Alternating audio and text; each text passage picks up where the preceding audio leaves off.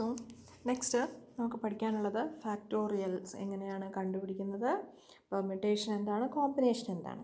So factorial എന്ന് പറയുന്നത് represented by N factorial that is N ഇട്ട് കഴിഞ്ഞിട്ട് ഒരു exclamation mark that is N factorial and it is അതെന്താണെന്ന് വെച്ച് കഴിഞ്ഞാൽ എൻ ഫാക്ടോറിയൽ എന്ന് പറഞ്ഞാൽ N into N minus one into N minus two into etcetera into three into two into one that is first N natural നമ്പറിന്റെ പ്രോഡക്റ്റിനെയാണ് നമ്മൾ എന്തെന്ന് പറയുന്നത് എൻ ഫാക്ടോറിയൽ എന്ന് പറയുന്നത്. That is for example five factorial നമ്മൾ എടുത്തു കഴിഞ്ഞാൽ five into four into three into two into one അതാണ് ഫൈവ് ഫാക്ടോറിയൽ ഇനി ഫാക്ടോറിയലിന്റെ പ്രത്യേകത എന്താണെന്ന് ചോദിച്ചു കഴിഞ്ഞാൽ എൻ ഫാക്ടോറിയൽ എന്ന് പറഞ്ഞാൽ it is can be represented as n into n minus one factorial അതായത് ഫൈവ് ഫാക്ടോറിയലിനെ എനിക്ക് ഫൈവ് ഇന്റു ഫോർ ഫാക്ടോറിയൽ എന്ന് എഴുതാം.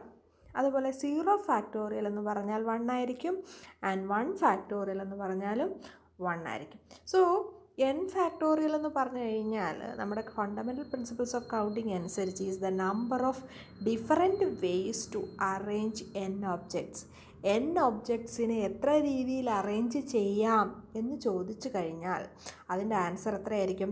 എൻ ഫാക്ടോറിയൽ ആയിരിക്കും. ദാറ്റ് ഇസ് രണ്ട് പേരെ എത്ര രീതിയിൽ ഇരുത്താം എന്ന് ചോദിച്ചു കഴിഞ്ഞാൽ രണ്ട് രീതിയിൽ ഇരുത്താം. ടു ഫാക്ടോറിയൽ രണ്ട് രീതിയിൽ. എന്ന് വെച്ചാൽ ഒന്നാമത്തെ ആളെ ഒന്നാമതും രണ്ടാമത്തെ ആളെ രണ്ടാമതും. അല്ലാതെ രണ്ടാമത്തെ ആളെ ഒന്നാമതും ഒന്നാമത്തെ ആളെ രണ്ടാമതും. അങ്ങനെ രണ്ട് രീതിയിൽ ഇരുത്താൻ പറ്റും. So two factorial okay so similarly what is a permutation next term is permutation permutation is also an arrangement in a definite order okay so n ഓബ്ജക്ട്സിനെ definite ഓർഡറിൽ അറേഞ്ച് ചെയ്യുമ്പോഴാണ് എന്താവുന്നത്?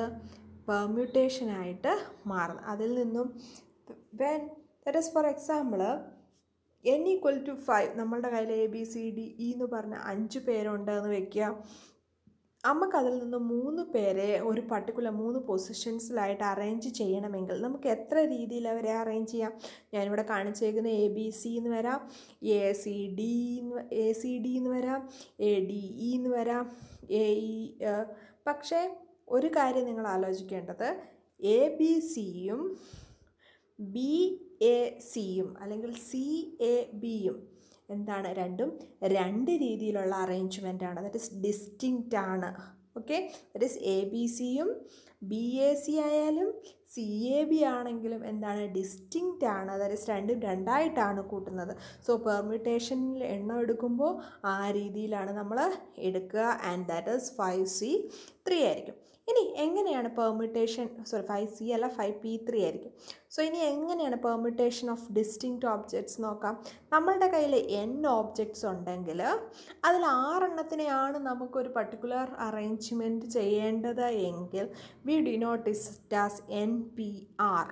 N P R. അപ്പുറത്ത് പറഞ്ഞ പോലെ five P three. ഇവിടെ അവിടെ അഞ്ചിൽ മൂന്നെണ്ണത്തിനെ arrange ചെയ്യണം അപ്പോൾ ഫൈവ് പി ത്രീ. അപ്പോൾ ഇവിടെ എൻ ഓബ്ജക്ട്സിനെ ആറ് എണ്ണമായിട്ടെടുത്ത് അറേഞ്ച് ചെയ്യണമെങ്കിൽ ആറ് പേരെയാണ് അറേഞ്ച് ചെയ്യേണ്ടതെങ്കിൽ അത് എൻ പി ആർ. ആൻഡ് അത് കണ്ടുപിടിക്കുന്നത് എങ്ങനെയാണ്?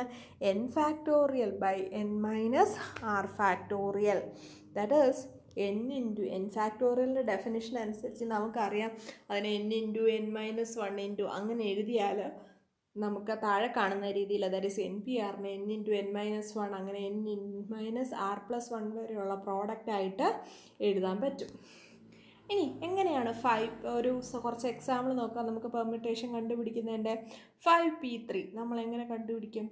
Five factorial by five minus three factorial equal to എന്ത് വരും five factorial by five minus three എന്ന് പറഞ്ഞാൽ ടു ഫാക്ടോറിയൽ ആണ്. So that is equal to five into four into three into two factorial okay two വരെ ഉള്ളത്. Five ഫാക്ടോറിയലിനെ നമുക്ക് five into four factorial എന്ന് എഴുതാം. അടുത്തതിനകത്ത് five into four into three factorial എന്ന് എഴുതാം. അടുത്തതിനകത്ത് five into four into three into two factorial എന്ന് എഴുതാം. So എന്നിട്ട് എന്ത് ചെയ്തു? ടു ഫാക്ടോറിയൽ ടു ഫാക്ടോറിയൽ കട്ടായി പോന്നു. സിമിലർലി നമുക്ക് സെവൻ പി ടു കണ്ടുപിടിക്കാം. അവിടെയും കണ്ടോ? Five fact seven ഫാക്ടോറിയലിനെ seven into six into five factorial എന്ന് എഴുതി. Sir that is five factorial five factorial കട്ടായി പോയി and the last one is five P five that is n P n എന്ന് പറയുന്നത് five fact N factorial തന്നെ ആയിരിക്കും. Five P five five factorial എന്ന് വെച്ചാൽ എൻ പി ഫൈവ് എന്തായിരിക്കും? N factorial ആയിരിക്കും. ഇനി രണ്ട് മൂന്ന് എക്സാമ്പിളാണ് നിങ്ങളുടെ കയ്യിൽ ഒരു മാത്സ് ഡിബേറ്റിംഗ് ടീമിൽ നാല് സ്പീക്കേഴ്സ് ഉണ്ട് എങ്കിൽ how many ways we all four speakers arranged in a row or a photo ഒരു ഫോട്ടോയ്ക്ക് വേണ്ടി ഈ നാല് സ്പീക്കേഴ്സിനെ നമുക്ക് എങ്ങനെ അറേഞ്ച് ചെയ്യാം? നാല് പേരെ നാല് പൊസിഷനിൽ അറേഞ്ച് ചെയ്യണം. That is four P four ഇനി അടുത്ത വന്നത് നമുക്ക് അതിൽ നിന്ന് രണ്ട് പേരെ ചൂസ് ചെയ്യണമെങ്കിൽ അതെങ്ങനെ വരും? ഫോർ പി ടു ഇനി അത് തന്നെ നിങ്ങൾക്ക് ഒൻപത് പേരെ അതിൽ അഞ്ച് ബോയ്സും നാല് ഗേൾസും ആണെങ്കിൽ എങ്ങനെ അറേഞ്ച് ചെയ്യാം? അവരെ ഒമ്പത് പേരെ അറേഞ്ച് ചെയ്യണമെങ്കിൽ അതിന് ഒരു ഓർഡറും ഇല്ല. ഓർഡറും ഇല്ല എങ്കിൽ അല്ല ഒരു പർട്ടിക്കുലർ മീൻസ് കണ്ടീഷൻസ് ഒന്നും ഇല്ല എങ്കിൽ റെസ്ട്രിക്ഷൻസ് ഒന്നും ഇല്ല എങ്കിൽ നമുക്കതിനെ ഒമ്പത് പേരെ അറേഞ്ച് ചെയ്യേണ്ടതുകൊണ്ട് നയൻ പി നയൻ എന്ന് എഴുതാം. ഇനി ഓൾ ബോയ്സും ഗേൾസും ഓൾട്ടർനേറ്റ് അറേഞ്ച് ചെയ്യണമെങ്കിൽ ഞാൻ ആ കാണിച്ചേക്കുന്ന രീതിയിലേ അത് പറ്റുള്ളൂ. ആൻഡ് അത് വരുമ്പോൾ ഫൈവ് പി ഫൈവും ഫോർ പി ഫോറും മൾട്ടിപ്ലൈ ചെയ്ത് വരും. നിങ്ങൾക്ക് ചെക്ക് ചെയ്യാം. ഇനി പെർമിറ്റേഷൻ വിത്ത് റെസ്ട്രിക്ഷൻസ് ഒന്നും കൂടെ നോക്കിയേ. ഇനി ഞാൻ പറയുകയാണ് ബോയ്സും ഗേൾസിനെ സെപ്പറേറ്റ് ഗ്രൂപ്പുകളായിട്ടാണ് എനിക്ക് വേണ്ടത് എങ്കിൽ എന്ത് സംഭവിക്കും? ബോയ്സിനെ ഗേൾസിനെ സെപ്പറേറ്റ് ആയിട്ട് ഇരുത്തണമെങ്കിൽ ഫൈവ് ബോയ്സിനെ എത്ര രീതിയിൽ അറേഞ്ച് ചെയ്യാം? ഗേൾസിനെ എത്ര രീതിയിൽ അറേഞ്ച് ചെയ്യാം?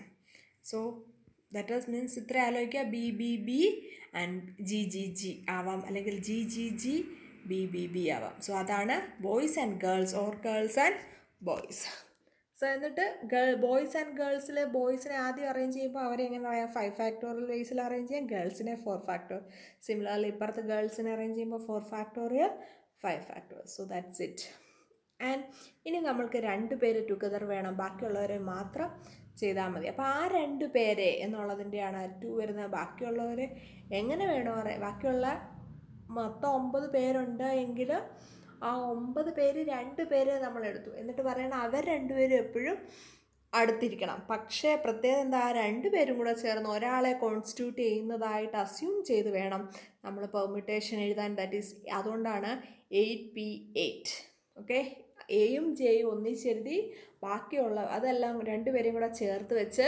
ഒന്നായിട്ട് കൂട്ടി. ദാറ്റ് ഈസ് ഒമ്പത് എണ്ണം ഉണ്ടായിരുന്ന രണ്ട് പേരെ ചേർത്ത് ഒന്നാക്കി അങ്ങനെ എട്ട് പേരെ എങ്ങനെ അറേഞ്ച് ചെയ്യാമെന്ന് നോക്കി.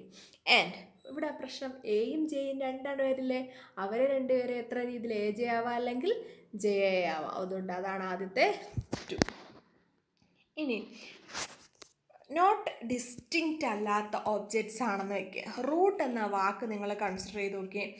റൂട്ട് എന്ന വാക്കിനെ നമുക്ക് അറേഞ്ച് ചെയ്യേണ്ടി വന്നു കഴിഞ്ഞാൽ റൂട്ട് എന്ന വാക്കിൽ നിന്ന് പ്രത്യേകത അതിനകത്ത് രണ്ട് ഓ ഉണ്ട്. Let us denote as O one O two അങ്ങനെ ഓ വൺ ഓ ടു നമ്മൾ ഡിഫൈൻ ചെയ്താൽ നോക്കിയേ. ഞാൻ മേളിൽ എഴുതിയിരിക്കുന്ന രണ്ട് എക്സാമ്പിളും ശരിക്കും പറഞ്ഞാൽ ഡിസ്റ്റിങ്റ്റ് ആണോ? അല്ല. പക്ഷേ റൂട്ട് രണ്ടും റൂട്ട് തന്നെയാണ് വരുന്നത്. അല്ലെങ്കിൽ രണ്ട് ടൂർ തന്നെയാണ് വരുന്നത്. So that means O one O two ഒരേ രണ്ട് ഒബ്ജക്ട്സ് ഡിസ്റ്റിങ്ക്റ്റ് അല്ല. ദാറ്റ് ഇസ് രണ്ടും സെയിം ആണ്. So number of permutation of n objects അവിടെ P objects are of the same kind ആണ് എങ്കിൽ we can find the number of ways എത്രയാണ്? N factorial by P factorial that is if നിങ്ങളുടെ കയ്യിൽ ഒരു kind അല്ല K similar kinds ഉണ്ടെങ്കിൽ we can denote it as n factorial by P one factorial into P two factorial into etcetera P K factorial for example നമുക്ക് ഈ ഒരു example എടുക്കാം.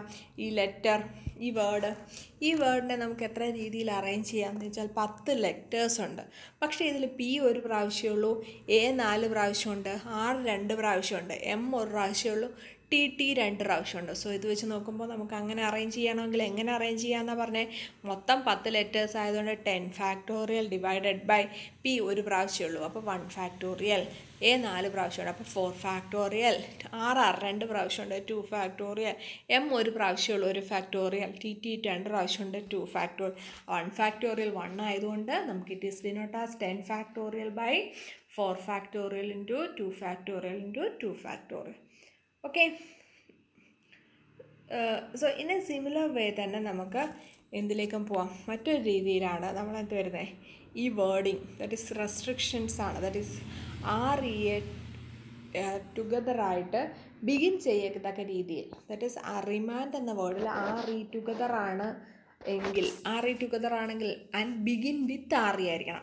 തുടക്കത്തിലെ ആർ ഇയിലാണ് തുടങ്ങുന്നത്. അപ്പോൾ ശരിക്കും പറഞ്ഞാൽ എന്ത് ചെയ്താൽ മതി? ബാക്കി നാല് ലെറ്റേഴ്സിന്റെ പെർമിറ്റേഷൻ നമ്മൾ കണ്ടുപിടിച്ചാൽ മതി. That is four P four പക്ഷെ ബിഗിൻ ചെയ്യുന്നത് ആർ ഇ വെച്ചിട്ടല്ല എങ്കിൽ do not begin with R E ആണെങ്കിലോ? അപ്പം നമുക്ക് ശരിക്കും ഡു നോട്ട് ബിഗിൻ വിത്ത് ആറി കണ്ടുപിടിക്കാൻ പാടാണ്. അപ്പം നമ്മൾ എന്ത് ചെയ്യുമെന്നറിയോ? ബിഗിൻ വിത്ത് ആറി കണ്ടുപിടിച്ചിട്ട് ടോട്ടൽ കോമ്പിനേഷനിൽ നിന്നും ആറി ബിഗിൻ ചെയ്യുന്നത് കുറയ്ക്കുകയാണ് ചെയ്തേക്കുന്നത്. ഓക്കെ അതുകൊണ്ടാണ് അവിടെ R factorial minus four factorial വന്നേക്കുന്നത്. ഇത് പലതരത്തിലുള്ള റെസ്ട്രിക്ഷൻസിനെ കുറിച്ചാണ് ഒന്ന് ആദ്യത്തിൽ ആറി ടുഗദർ ഇൻ ടുഗദർ ആയിട്ട് വരണം. അല്ലാതെ ഫസ്റ്റ് പ്ലേസിൽ തന്നെ വരണമെന്നില്ല. ആറി ഒന്നിച്ച് വരണമെന്ന് മാത്രം പറയുന്ന സമയത്ത് ശരിക്കും എന്ത് ചെയ്യണം? നമ്മൾ എ ജെ എടുത്ത പോലെ ഇവരെന്ത് ചെയ്യണം? മൊത്തം നമുക്ക് ആറ് അക്ഷരമുണ്ട്. പക്ഷെ അതിനെ അഞ്ചായിട്ട് കൂട്ടി ഫൈവ് പി ഫൈവ് അവിടെ പ്രത്യേകം ശ്രദ്ധിക്കുക. ആറി ടുഗദർ വരണമെന്നാണ്. അല്ലാതെ ഇവർ രണ്ടും ഒന്നിച്ച് വരണം എന്നല്ല. ഇ ആർ വരാനുള്ള ചാൻസ് അവിടെ ഇല്ല അതുകൊണ്ടാണ് ഫൈവ് പി ഫൈവ് മാത്രമായത്. ഇനി റം ടുഗദർ അതും ഇതുപോലെ തന്നെ വരും. അറിയം ഇൻ എനി ഓർഡർ കണ്ടല്ലോ?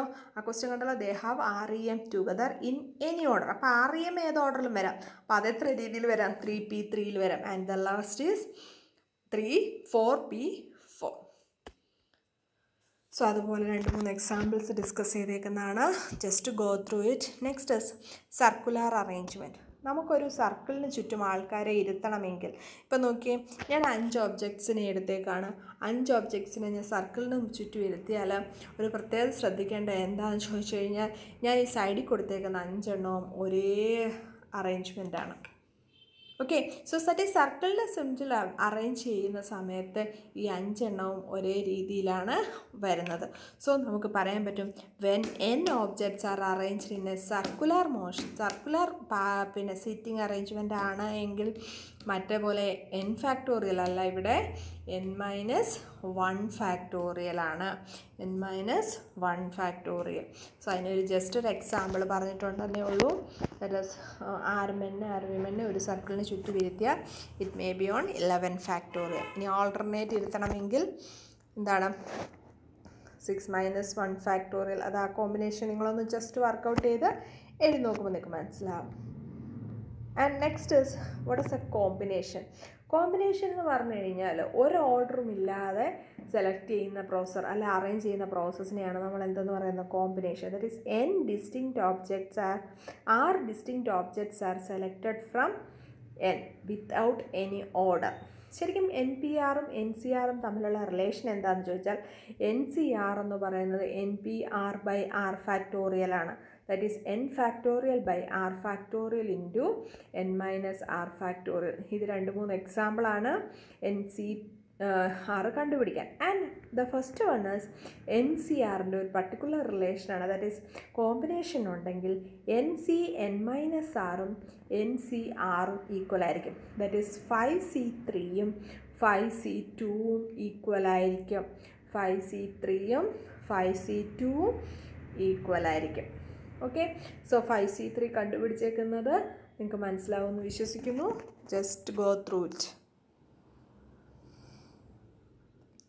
ഇനി അതിനൊരു എക്സാമ്പിൾ എന്നുള്ള രീതിയിൽ ഞാൻ പറഞ്ഞേക്കാണ്. എന്ത് ചെയ്യാണ്? നമുക്ക് മൂന്ന് പേഴ്സൺസ് ഉള്ള ഒരു കമ്മിറ്റി കോൺസ്റ്റിറ്റ്യൂട്ട് ചെയ്യണം. പക്ഷേ നമ്മുടെ കയ്യിൽ രണ്ട് മെന്നും മൂന്ന് വിമനും ഉണ്ട്. എങ്ങനെ മൊത്തത്തിൽ ഈ കമ്മിറ്റി കോൺസ്റ്റിറ്റ്യൂട്ട് ചെയ്യാൻ അഞ്ചിൽ നിന്ന് മൂന്ന് പേരെ സെലക്ട് ചെയ്യണം എന്ന് പറയുമ്പോൾ it is five C three പക്ഷെ ഞാൻ പറയുകയാണ് അതിനകത്ത് ഒരു മാൻ വേണമെങ്കിൽ എന്താണ്? ടു സി വൺ മാനിൽ ഒരാൾ വിമൻ ത്രീ വിമൻസിൽ ഒരാൾ ഒരാൾ വേണമെന്ന് പറയുമ്പോൾ ത്രീ സി സോറി വിമനിൽ രണ്ട് പേരെന്ന് പറയുമ്പോൾ three C two. Combination. And അതേപോലെ ഒരു കാർഡിന്റെ കാര്യം പറഞ്ഞേക്കാണ്. നമുക്കൊരു ഡെക്ക് ഓഫ് കാർഡ് ഒരു ഡെക്ക് ഓഫ് കാർഡ് എന്ന് പറഞ്ഞാൽ ഫിഫ്റ്റി ടു കാർഡ്സ് ആണ് അതിൽ നിന്ന് ഫോർ എണ്ണം ചൂസ് ചെയ്യണം എന്ന് പറയുമ്പോൾ ഫിഫ്റ്റി ടു സി ഫോർ. അതിന് റെസ്ട്രിക്ഷൻസ് വരുന്ന കേസ് നോക്കിയേ. Four cards are same suit same suit എന്ന് പറഞ്ഞാൽ ശരിക്കും ഒരു card deck of card fifty two കാർഡിൽ ഇരുപത്താറ് റെഡും ഇരുപത്താറ് ബ്ലാക്കും അതിൽ പതിമൂന്ന് എണ്ണം similar sign that is ace heart spade diamond okay പതിമൂന്ന് പതിമൂന്ന് പതിമൂന്ന് പതിമൂന്ന്. അപ്പോൾ അതിൽ സെയിം സ്യൂട്ട് എന്ന് പറഞ്ഞു കഴിഞ്ഞാൽ നാലെണ്ണവും സെയിം ആയിട്ട് വരാനുള്ളത്. സോ ഒന്നീ നാലെണ്ണം എയ്സ് ആയിരിക്കണം അല്ലെങ്കിൽ നാലെണ്ണം ഹാർട്ട് ആയിരിക്കണം അല്ലെങ്കിൽ നാലെണ്ണം സ്പേഡ് ആയിരിക്കണം അല്ലെങ്കിൽ നാലെണ്ണം ഡയമണ്ട് ആയിരിക്കണം. സോ അതാണ് forty thirteen C four aces വരാനുള്ളത് തേർട്ടീൻ സി ഫോർ എന്താണ്? സ്പെയ്ഡ് വരാനുള്ളത് അങ്ങനെ തേർട്ടീൻ സി ഫോർ അങ്ങനെയാണ് അത് നാലെണ്ണം. ഓക്കെ ഇനി four cards belonging to four different suit ആണെങ്കിലോ? ഫോർ ഡിഫറെ മൂന്നാലും വരാം. എ വരാം ബി വരാം സി വരാം ഡി വരാം. വെച്ചാൽ ഒരു എയ്സ് വരണം that is thirteen C one ഒരു സ്പേഡ് വരണം തേർട്ടീൻ സി വൺ അങ്ങനെ നാലെണ്ണം. ആൻഡ് ഒരു ഫേസ് കാർഡ്സ് ആണെങ്കിലോ ഫേസ് കാർഡ്സ് എന്ന് പറഞ്ഞു കഴിഞ്ഞാൽ മൊത്തം ഫേസ് കാർഡ്സ്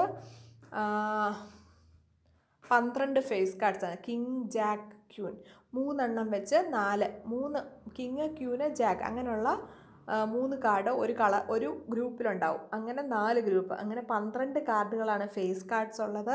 അപ്പോൾ ഫേസ് കാർഡ്സ് പന്ത്രണ്ട് എണ്ണത്തിൽ നാലെണ്ണം വരണമെങ്കിൽ പന്ത്രണ്ട് സി ഫോർ. ഓക്കെ? സോ ഇങ്ങനെ ജസ്റ്റ് നിങ്ങൾ ഈ വർക്കൗട്ട് ചെയ്ത് നോക്കുക. നമ്മുടെ അടുത്ത മൊഡ്യൂളിന് ഈ പ്രോ ഇത് വളരെ അത്യാവശ്യമായിട്ടുള്ളതാണ്. കോമ്പിനേഷന്റെ പ്രോബ്ലംസ്.